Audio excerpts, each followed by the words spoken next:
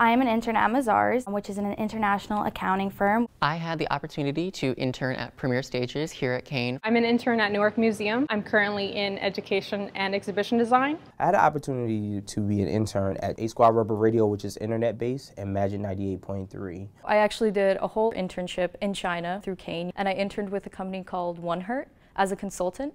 And then I did a marketing internship in New York about a year ago. I got my first internship through Kean University's Career Service Center. I interned at the place that I work full time now for the position that I shadowed under. My goal is to become a certified public accountant, and Mazars is giving me the experience I need for that. What was really great about my position at Premier was it gave me a very robust understanding of the arts management field, and that really helped me steer myself towards the parts of working for a theater company that I really enjoy. Working at Newark Museum and my previous internship experience has allowed me to choose a career path for the future.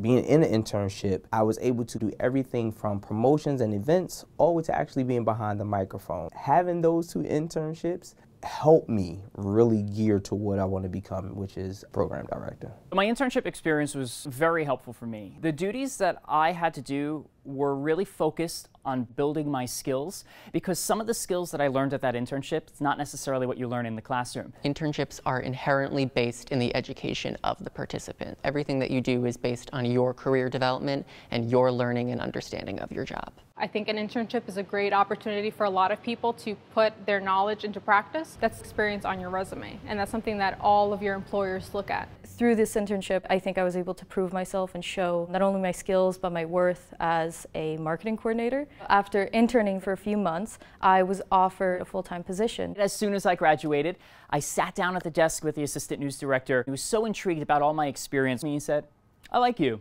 Welcome aboard. The last couple days of my internship, one of the HR representatives called me into her office and she was like, We would like to bring you on full time. Here's your offer letter. Think about it. But I knew right then and there this is where I wanted to be.